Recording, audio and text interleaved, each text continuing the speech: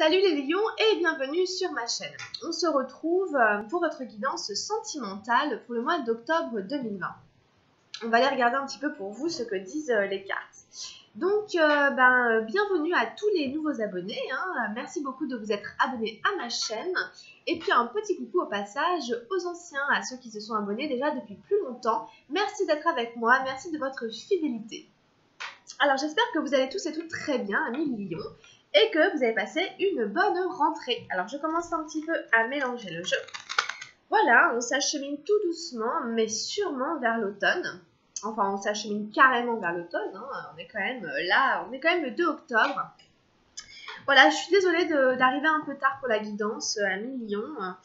Euh, oui, voilà, vous êtes un petit peu en bout de course en ce moment, donc euh, excusez-moi pour le petit retard. Alors, je commence à mélanger les cartes pour les lions pour octobre 2020. Hein, j'espère que vous allez tous très bien. Allez, on y va.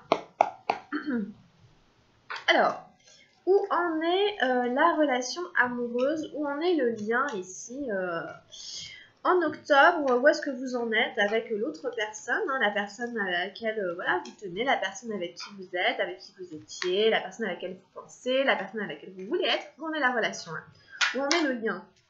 Hop, j'ai une carte. Donc en fait, euh, il y, a du, y a du vent, euh, il y a du vent, donc c'est pour ça que ça bouge un peu derrière et tout.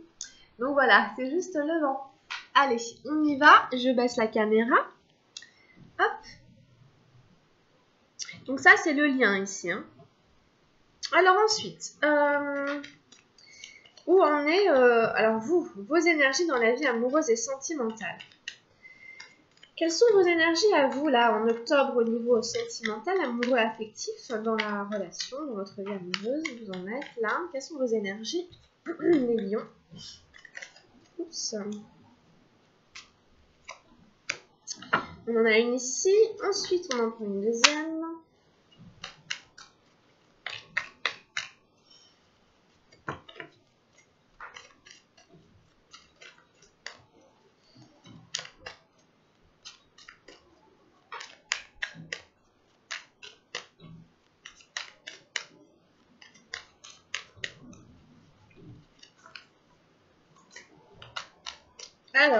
Lions sentimentales.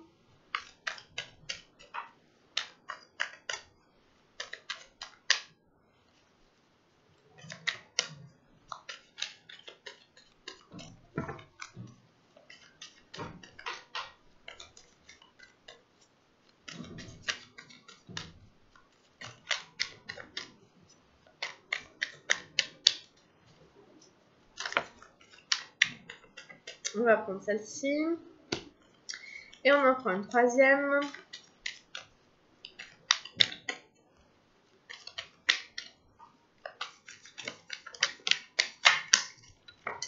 Allez, on en prend deux. On verra bien. Ensuite, en face de vous, pour la personne que vous aimez, ou en tout cas, voilà, le ou la partenaire, la personne qui est concernée. Alors, quelles sont ses énergies à cette personne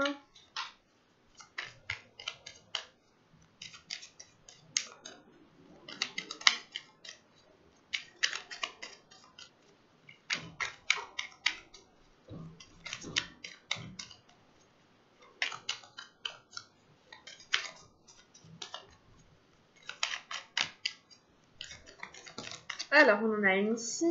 Merci, très bien. Ensuite,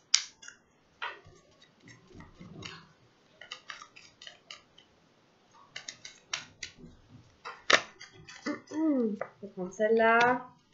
Et enfin, oh là là, on en a deux aussi, donc euh, ok. Et puis enfin, en carte de direction, là où ça va aller? Dans quelle direction va la, relation? Voilà, on a le tirage les lions, on va aller tout retourner. Je vous rappelle que c'est une guidance générale, que ça ne pourra pas parler à tout le monde. Je vous rappelle aussi que les guidances sont ici pour vous éclairer, pour vous donner des petits messages par rapport à... Voilà, parce qu'il y a des choses qui sont inconscientes, des choses dont on n'a pas forcément conscience. Donc ça vient vous donner des, petites pistes en plus, euh, voilà, tout simplement. Alors on y va pour vous les lions. On commence avec la 4 de feu, la participation. Voilà, euh, qui euh, nous euh, questionne en effet sur un lien dans lequel on ne participe plus beaucoup. Voilà, donc que ce soit vous, que ce soit l'autre, ici on s'implique plus vraiment. Voilà, est-ce que je participe, est-ce que je m'implique, est-ce que je m'investis? Ou pas? Est-ce que je suis plutôt sur mon retrait? Est-ce que je ne passe plus de coups de fil? Est-ce que je ne fais plus de propositions? Apparemment, il y a une forme euh, de désengagement ici dans, le lien, euh, dans le lien qui vous relie à l'autre. Vous êtes plus trop en train de vous investir euh, et l'autre non plus, hein, peut-être. Hein. Là, il y a un manque d'investissement d'un côté comme de l'autre. alors, dans vos énergies à vous, on a la renaissance, la 10 des nuages. Ensuite, on a la banalité, la 8 d'arc-en-ciel. On a aussi la maturité, la 9 d'arc-en-ciel, donc elles se suivent, la 8 et la 9. Et on a le compromis, la 6 d'arc-en-ciel. Ensuite, en face de vous, on a ah, la 2 des nuages, la schizophrénie, comme on avait dans votre tirage général. On a les vies intérieures, la numéro 18 des arcanes majeures. On a euh, la guérison, le roi d'eau, et on a eu le succès, la 8 de, la 6 de feu. Alors, euh, je vais préciser aussi que des fois les énergies sont inversées, c'est-à-dire que vous pouvez davantage vous retrouver euh, chez les énergies qui sont censées être le partenaire et davantage retrouver le partenaire dans les énergies qui sont censées être les vôtres. Hein. donc en général, voilà, simplement, hop, vous inversez, voilà, vous remplacez tout ce qui est ici, là, pas carte par carte, hein. vraiment vous prenez tout le tirage, hop, vous mettez de l'autre côté. Voilà, c'est juste que c'est inversé, ça change rien après hein, au tirage. Et en carte de direction, on a eu la 3 de feu, l'expérience de l'existence. Donc c'est un tirage intéressant hein, euh, pour vous, euh, comme pour l'autre d'ailleurs. On a beaucoup de cartes arc-en-ciel de votre côté, beaucoup d'énergie de terre. Euh, il y a la 8, la 9, la 6, une énergie du mental. On a deux énergies de feu en carte de euh, direction et de euh, là où vous en êtes sur votre lien. Et puis on a euh, après un peu tout chez votre personne, du feu, de l'eau, une arcane majeure, etc. Donc c'est quand même un tirage assez plein, assez rempli d'un peu de tout. Alors, voilà, je vous ai déjà décrit un petit peu où vous en êtes. Apparemment, on se désengage un petit peu, on ne participe plus tellement. Euh, pour X raisons, des raisons que vous connaissez mieux que moi. Alors, du coup, vous, vous êtes porté par une renaissance, les lions. Euh, c'est vous qui êtes représenté sur la carte, ça fait plaisir. Vous êtes là, en train de rugir. Euh, vous êtes un signe solaire. le 10 hein, des nuages nous annonce une renaissance hein, par rapport à votre vie amoureuse. Vous êtes en train de laisser derrière vous des énergies qui étaient un petit peu tristes, des énergies un peu sombres, un peu un peu grises, hein, qui sont représentées par le dromadaire hein, en bas ou le chameau. Euh, avec pas mal hein, de gris, de nuages et tout ça. Et puis, euh, bah voilà, euh, de ce dromadaire est en train de, naître un lion. donc c'est vraiment une transformation. On est en train de changer de peau. C'est un peu comme vous connaissez le conte de Podane. elle avait cette peau d'âne sur elle jusqu'au jour où elle, elle, elle enlève ou la peau d'âne part, part et euh, bah, voilà, laisse place à euh, ici un beau lion. Voilà, donc euh, il y a des énergies aussi qui vous poussent en fait hein, à aller vers l'affirmation de, vous dans votre vie amoureuse, le, voilà, tout, ce qui est autour du plexus solaire, qui est jaune hein, et qui vous, qui vous permet d'exister, de, rayonner à travers votre vie amoureuse. Hein. C'est une renaissance ici, quoi qu'il arrive quel que soit ce que vous laissez derrière vous, c'est pour, euh, pour aller vers quelque chose de beaucoup plus lumineux qui euh, permettra à votre pouvoir intérieur de rayonner, de s'exprimer. Il y a une renaissance ici. Alors, il y en a certains, certaines, on parle de banalité. Euh, c'est aussi par rapport à un quotidien qui s'était installé, par rapport à une routine, par rapport à quelque chose qui est installé en fait. La banalité, c'est un peu la peur de l'ennui aussi. Hein, euh, voilà, donc ça peut être une renaissance par rapport à un train-train, une routine aussi qui s'était installée, plus ou moins. Euh, la peur de l'ennui, euh, vous savez, c'est le côté, bah, c'est toujours un peu pareil avec l'autre, métro, boulot, dodo, il se passe pas grand chose, toutes les journées se ressemblent. Bon, au final, ça devient un peu tristounet. Et en fait, voilà, donc la carte nous invite ici à faire de chaque journée ordinaire une journée extraordinaire en rajoutant des fleurs de couleur dans son panier, hein, qui est euh, toujours un petit peu de vert. Donc si vous voulez, voilà, c'est à, nous ici à ramener de la joie, de la fantaisie euh, dans notre vie sentimentale. Euh, pour voilà, ça peut aussi être l'envie, hein, pourquoi pas, euh, d'installer aussi une vie amoureuse sentimentale dans quelque chose qui soit quotidien. Ça peut aussi s'interpréter de cette manière-là, hein, essayer d'aller vers, euh, de, s'installer, d'installer une routine, un quotidien, et de faire de chaque journée une journée extraordinaire, euh, mais dans une forme de régularité.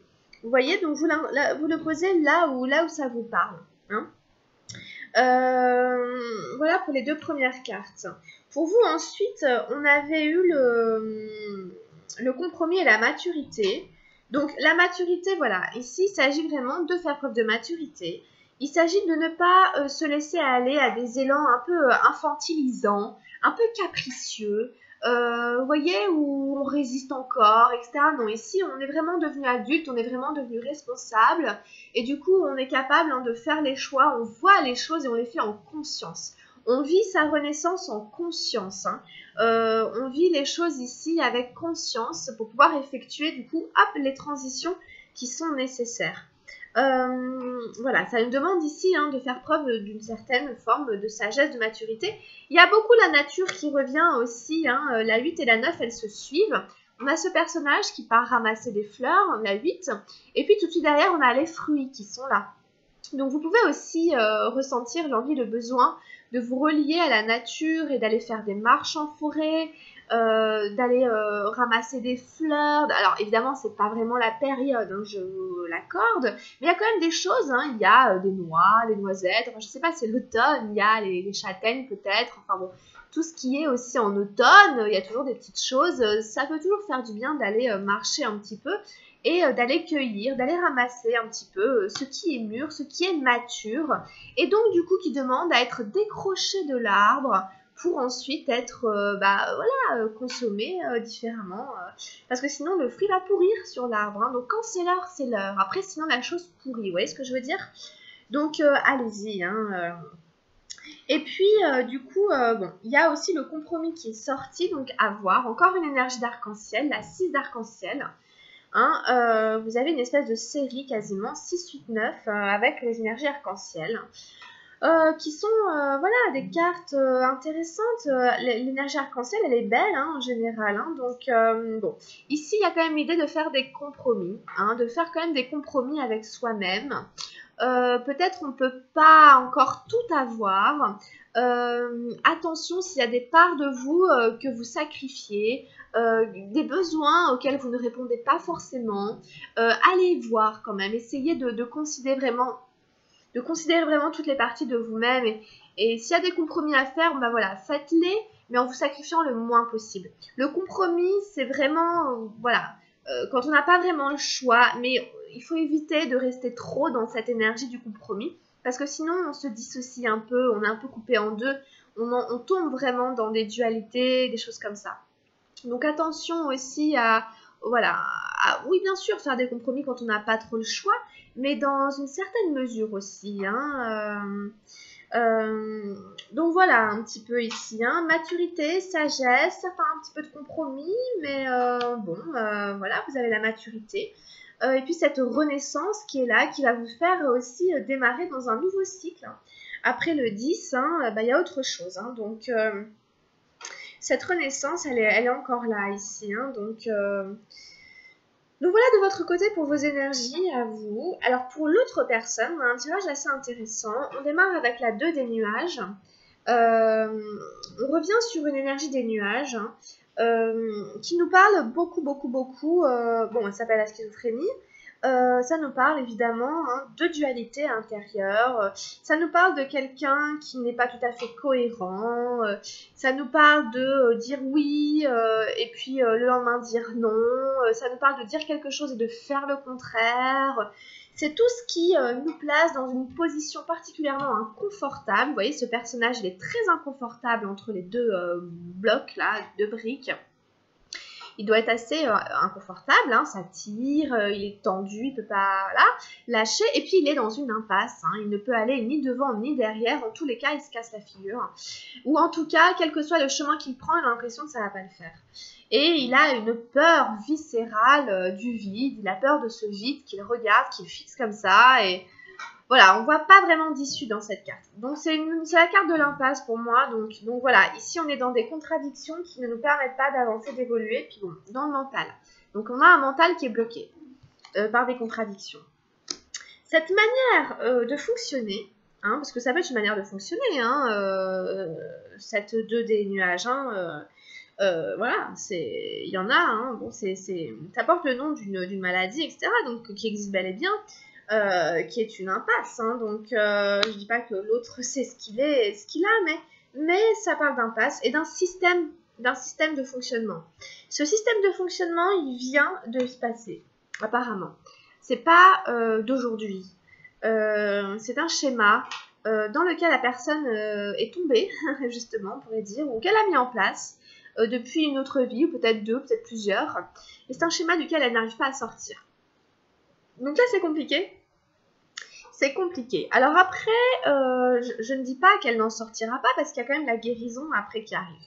Mais si vous voulez, il y a vraiment, euh, c'est vraiment de cet ordre-là. C'est une guérison karmique ici qui, doit s'opérer pour sortir de la dichotomie, de la dualité, de l'incohérence euh, dans laquelle on est plongé. Ok? Vous voyez, ces deux cartes nous parlent vraiment d'impasse, d'être bloqué. Ici, on est bloqué dans le sablier on a des personnages qui ne peuvent pas sortir euh, du temps, qui sont prisonniers du temps. C'est vraiment, on est prisonnier du cycle euh, des réincarnations euh, parce qu'on n'arrive pas à transformer notre karma et que quand on revient, on retombe toujours dans les mêmes schémas et que donc du coup on n'arrive pas à en sortir. Hein donc c'est ça. Donc donc c'est un peu un peu lourd, hein, vraiment. Hein, c'est pas simple. Hein, parce que euh, au niveau de l'âme, euh, là, l'âme doit être en peine, un peu en souffrance, hein, euh, d'être là-dedans, bloqué dans un mental qui est complètement un peu maladif, hein, un peu un peu de la psychose, hein, et puis voilà quoi. Mais ce qui est bien, c'est que derrière, vous voyez, on tombe sur des énergies extra le succès et la guérison. Donc, on peut quand même s'attendre à, quelque chose d'extrêmement positif qui arrive. Est-ce qu'il y a ici une guérison qui arrive au niveau karmique? Afin de nous libérer cette personne de sa prison mentale qui l'enferme dans, euh, dans, dans son schéma ici euh, dichotomique euh, C'est possible. Ça peut être vraiment une, guérison karmique. Voilà, qui permet vraiment de transformer un karma qui nous maintenait dans quelque chose de malheureux. Voilà, donc il y a une guérison qui s'opère, donc c'est de très bon augure, avec le roi d'eau ici. Vous voyez, cette carte, elle est magnifique, une guérison qui arrive.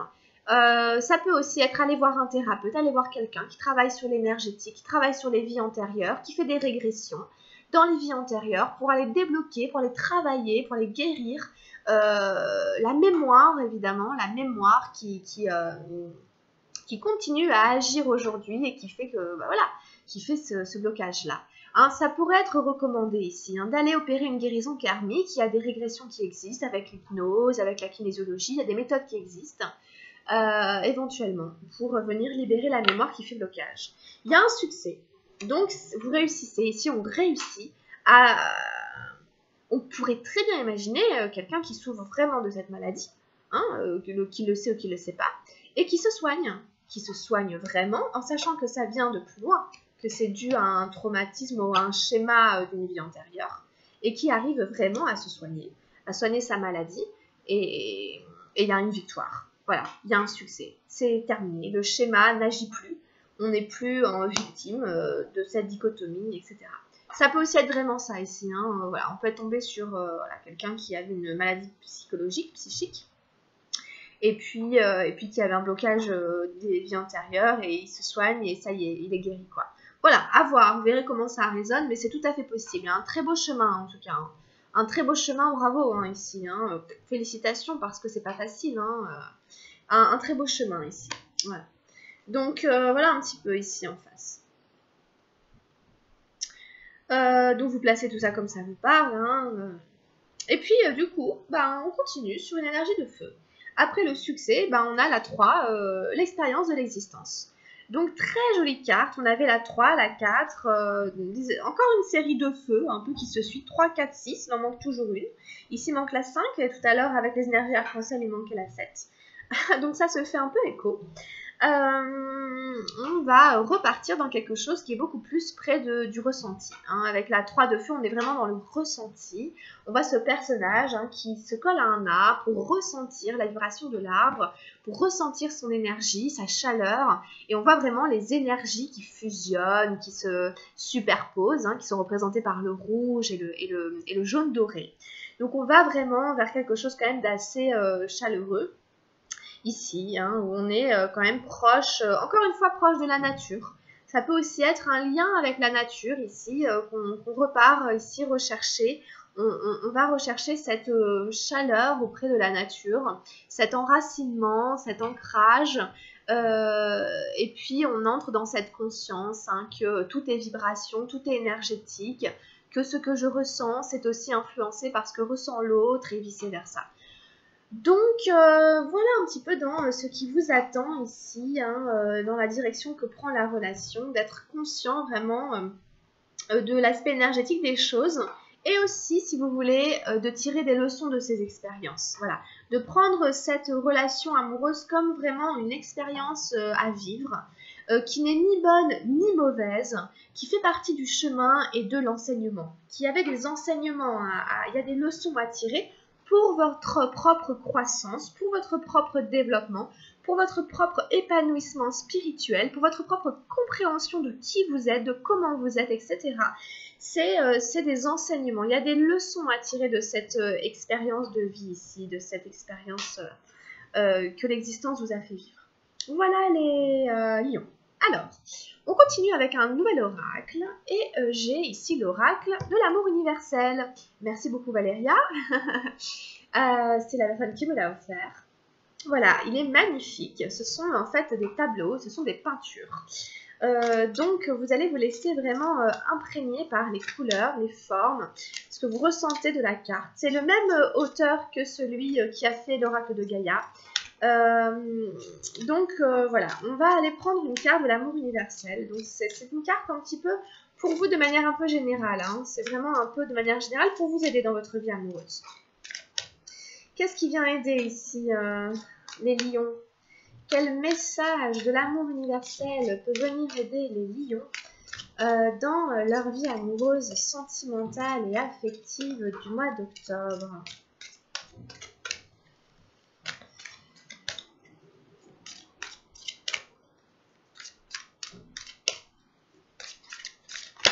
Allez. Bon. Alors, on a le chagrin qui est sorti. J'en ai deux qui ont sorti, qui, sont qui ont sauté, qui sont sortis. Donc, on va d'abord regarder celle-là. Bon, alors évidemment, elle n'est pas forcément facile. Euh, on est chagriné. Euh, on a peut-être versé des larmes. Ça peut être un chagrin d'amour, bien entendu. Hein. Euh, il y a un petit cœur ici. bon, vous le placez comme ça résonne. Hein, voilà. Il y en a peut-être qui ont vécu un, chagrin d'amour. Euh, alors, on va aller regarder quel est le message de la carte. Chaque émotion, même douloureuse, est un cadeau qui nous est offert.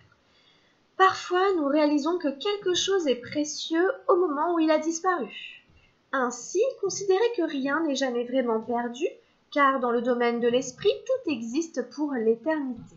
Les événements de la vie ne sont qu'un moment de cette réalité éternelle. Dans ce laps de temps, vous pouvez approfondir la qualité des relations que vous vivez, en famille, en amour ou avec vos amis. Sentez l'amour inconditionnel qui circule autour de vous. Au niveau de l'âme, nous sommes tous unis et reliés spirituellement à la création. Dans la paume de la main de Dieu, nous vivons et nous mourrons, mais seulement pour découvrir que tout cela n'était qu'un rêve. Car la vie sur Terre est comme une pièce de théâtre. Chacun a son rôle à jouer et les rôles ne cessent de changer. Personne ni rien ne se perd, même si cela se produit parfois dans notre scénario. Pour autant, le jeu se poursuit encore et encore, et de même, chaque chagrin sera transformé par le plus grand des bonheurs. Bon, ça me touche beaucoup d'avoir tiré cette carte. Euh, parce qu'elle me parle aussi personnellement et elle résonne un peu avec euh, ce que je sais euh, des gens autour de moi vivre. Des lions hein, aussi. Moi aussi, je suis ascendant lion.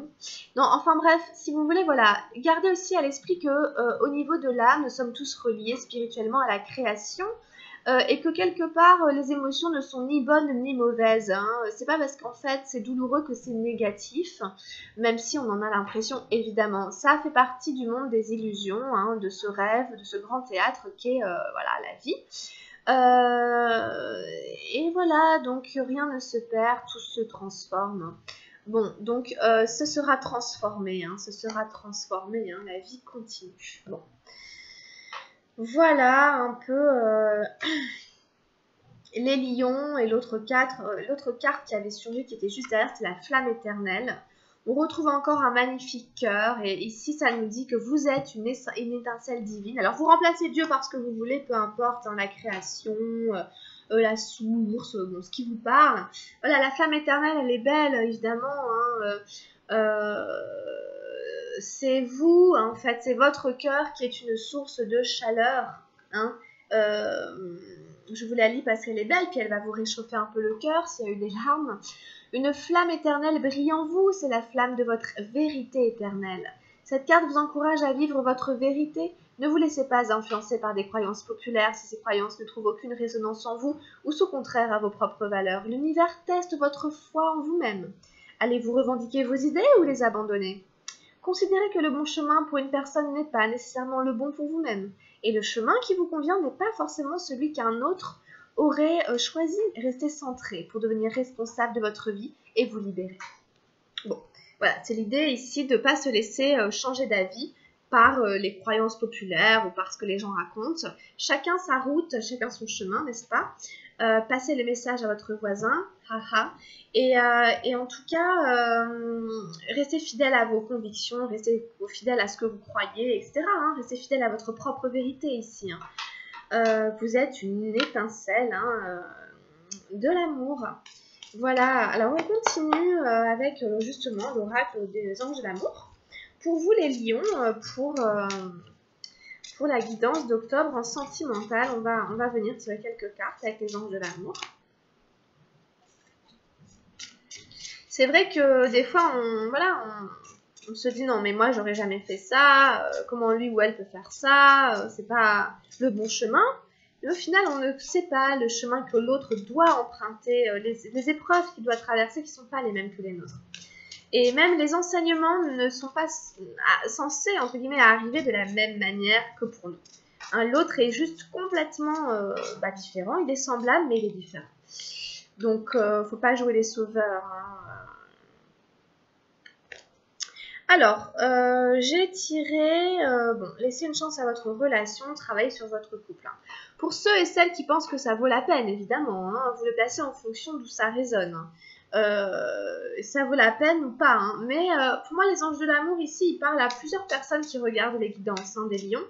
Donc, euh, il y a peut-être ici des couples qui pourraient être sauvés. éventuellement, il faudrait peut-être travailler simplement sur le couple. Ça veut dire communiquer, parler, voilà, hein, pour ceux qui se disent que ça peut valoir la peine. Lâcher prise. Laisser sa situation se dérouler jusqu'à son terme. Bon, ici, il faut aller au bout de quelque chose. Hein, il y a une situation qui demande à aller au bout. Hein. On, sait, quand on a été au bout de quelque chose. Donc ici, il faut aller au bout euh, pour ensuite euh, qu'autre chose puisse euh, se produire, que l'énergie change, etc. Il faut aller au bout de quelque chose ici. Il y a un lâcher prise aussi à avoir. c'est une manière un peu de renoncer, de rendre un peu les armes. Donc, euh, quelque part, euh, voilà, se détacher et voilà. Euh, conversation cœur à cœur.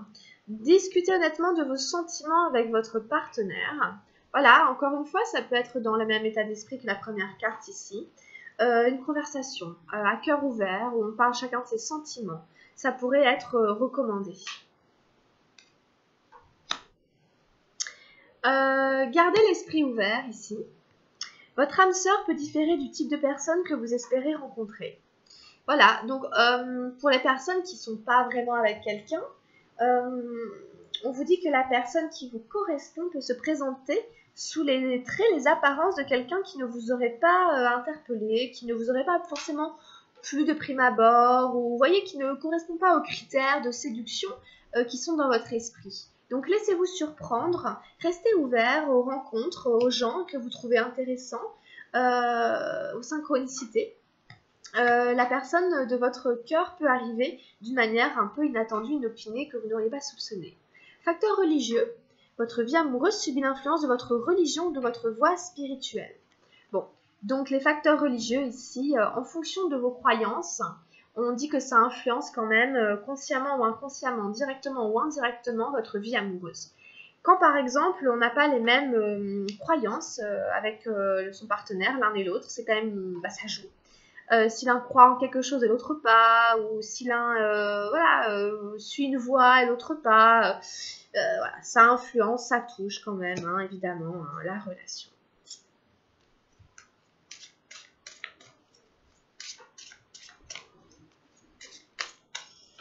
Bon, quoi d'autre? Ça dépend aussi de la place hein, qu'a la spiritualité dans votre vie. voilà, donc ça joue aussi. Et on vous dit très bientôt on vous dit de décider exactement ce que vous voulez afin que cela vous parvienne au plus vite. Alors essayez de savoir ce que vous voulez exactement, si vous voulez un vrai engagement ou pas, si vous voulez euh, quel genre de vie amoureuse vous voulez, etc. pour que ça euh, euh, puisse, enfin pour que les synchronicités, pour que dans l'invisible ça puisse œuvrer pour euh, vous apporter euh, exactement ce que vous voulez parce que euh, voilà il faut être précis aussi quelque part pour que les forces hein, puissent bien se matérialiser et nous apporter ce qu'on veut vraiment si c'est pas très précis que c'est un peu fou ben l'univers peut pas vraiment nous apporter bah on a quelque chose d'un peu un peu fou quoi donc, essayez de savoir exactement ce que vous voulez. Ça arrivera très rapidement. Ça peut aussi arriver très très vite. Hein. Donc comme vous disiez, hein, laissez-vous un peu surprendre, lâchez prise. Euh, voilà, on a fini avec les anges de l'amour hein, pour vous. Et puis on prend un dernier message avec l'oracle des anges gardiens pour votre guidance amoureuse les lions pour octobre. Alors,